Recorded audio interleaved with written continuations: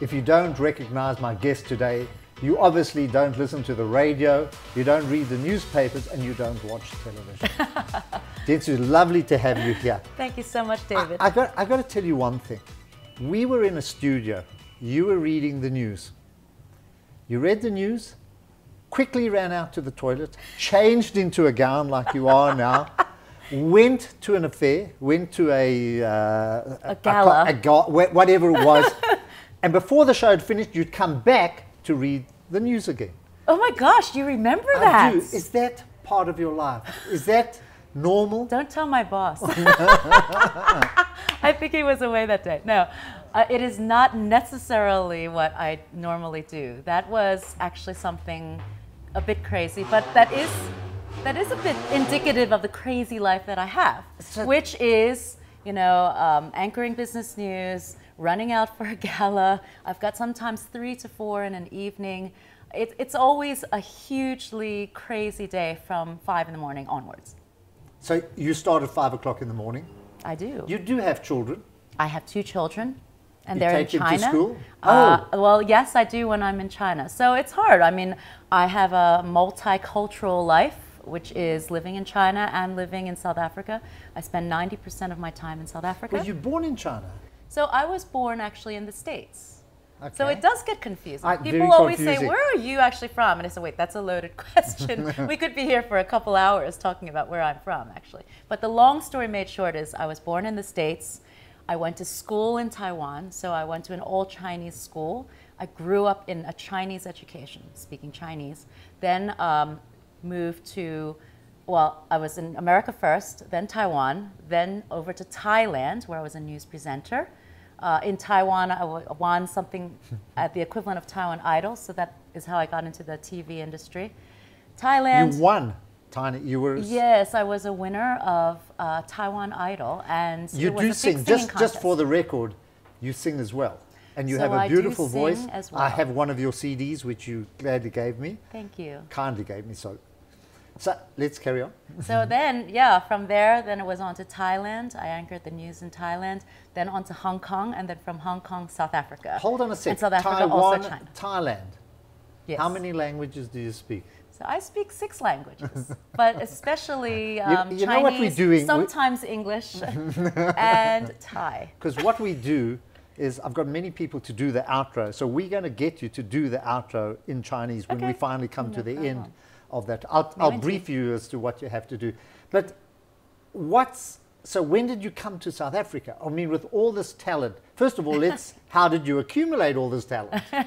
Well, it's a good question. Um, I guess starting out as a child, you know, I was uh, on a lot of TV shows with a Chinese dance troupe. So it was ribbon America, dancing or- in America Okay. when I was five. Um, and I was part of this very uh, nice dance troupe of young children. And so I would go out there on the Today Show. We did all these was this morning sorry? Was this shows. cultural or was this? I mean, did you do it because you were Chinese in America, or was this from your parents? So it's from my parents. My parents are very traditional Mm-hmm. Chinese. Um, my mother came from a family of very successful uh, property dealers in Shanghai. Mm-hmm. Uh, my dad uh, was in the medical field, so he traveled all over for medical conferences. Um, he published in many, many scientific journals about uh, various cures for liver cancer and treatments. And um, he was a Harvard educated scientist who came from China at that time, and they were going to go back actually uh, during the sort of the communist revolution, but they ended up staying in the United States, and that's where my brothers, who are much older than me, and then myself, I was the baby sister by accident who came along. And so, yeah, I was from a very traditional family. And from there, you know, they always believed in carrying on our Chinese traditions. Even though we were in the States, they wanted me to speak English fluently. They wanted to have an opportunity for their children, but they also wanted us to keep the Chinese tradition. Mm. So that was very important for them. They enrolled us in a Chinese school. They enrolled us you know, in various activities. And so one of them that I got involved in was the Chinese traditional dance. Mm. And every week I would go and we would dance ribbon dances and the various like different acrobatics and things like that. And so um, we had the opportunity to perform at many community centers, the Chinese events, and then actually, you know, our name started getting out there and we would suddenly on a national arena where we were doing the Today Show, the Good Morning America, and various shows, and, they, and it was really an incredible experience. But that's what brought me into sort of the so performing scene. Did and you go to university? Did you go to college? I did. I went to the University of Pennsylvania. Um, and you and?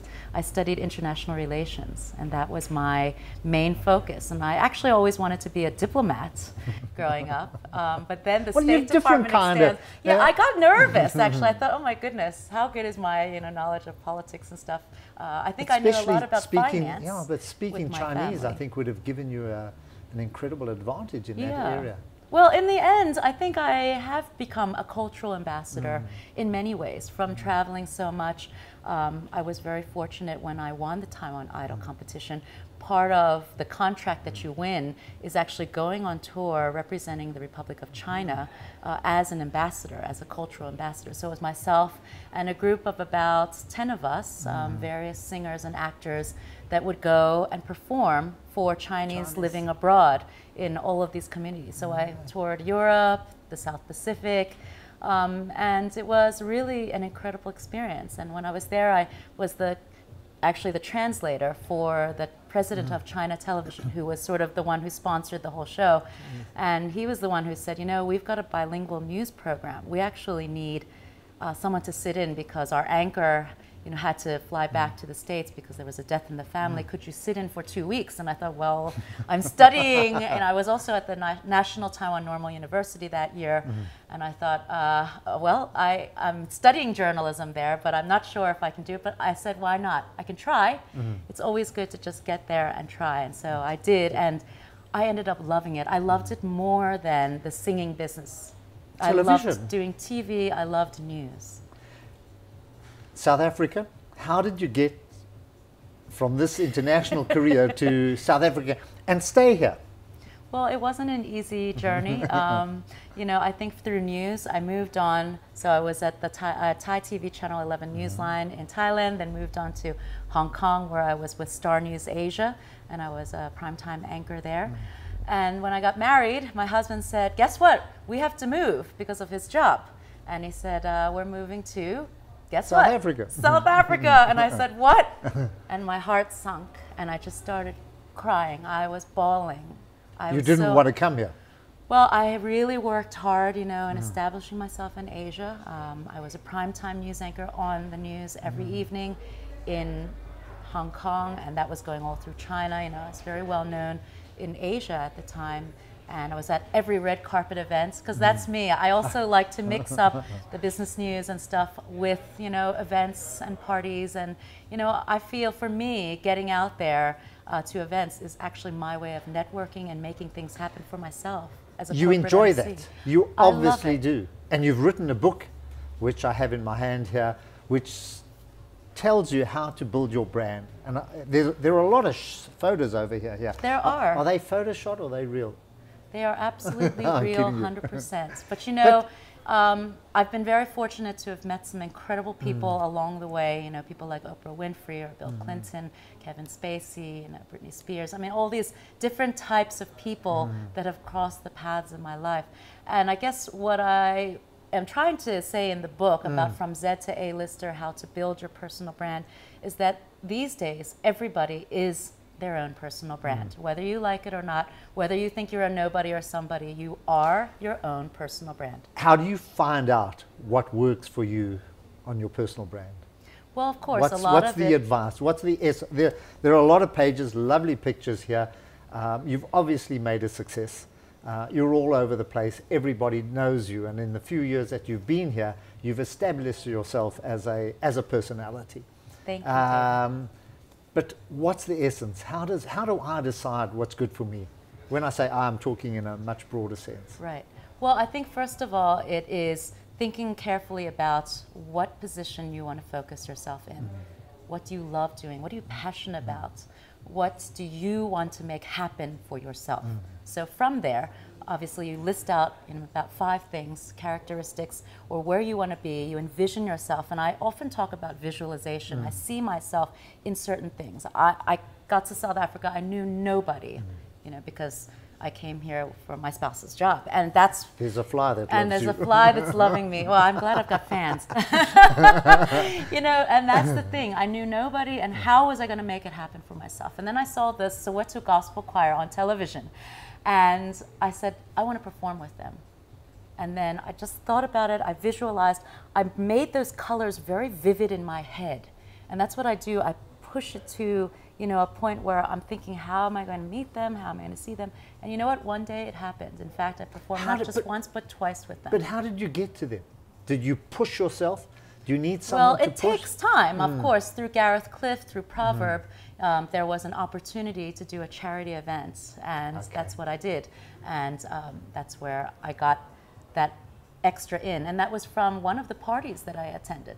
But you like fashion. You love fashion. So I love hats especially. I think everybody should have a signature accessory, Hmm. whether it's a really cool bow tie, whether it's a bunch of bracelets, whether it's a hat or sort of quirky shoes. Is this you know, part of your? Is this part of what you suggest? I do because when you're getting out there, it's always nice to have something that it distinguishes yourself. Um, you know, I guess whatever works for you, but that signature accessory or the signature pose, that signature look is important. And a lot of businessmen say, "Oh, I don't need that signature look." But you know what? In this business, it's all about personal branding. And from what we've seen, you know, in social networking lately, um, everybody is their personal brand. Whether you're in business, whether you're in your social circles, whether you're a celebrity, it doesn't matter. You must take control of your brand. For me, So I still do your in best business designers? news. You know the things I have to do with Sky. So I mean, I would say that it's still important to think about your head to toe So, look. Mm. My favorite designers, Gert Johan Coetzee, he dressed me him. for the Mets. Yeah, I did him here. He had the green hair that was going up in layers. and he did this incredible 3D dress for me at the Mets, which just was so much fun. In fact, I could even put drinks in it because it was like this sort of incredible design. And then it had um, tree branches hanging out, which he picked from his own palm tree in his garden and dyed them black. He's just so incredible with the way he thinks. He's always out of the box. You've got a lot to you. That we can say. We're going to have to wrap up now. It's gone very fast. What you're going to say now is you've been on the couch with me, David Shapiro, and with you, Jen Su, but you're going to say it in Chinese for the audience. 谢谢观众，谢谢你们的收看，我是周海英 Jennifer，这是 David Shapiro，谢谢，再见。 That was marvelous. And this is Jen Su's book, which tells you how to get onto the couch with me, David Shapiro.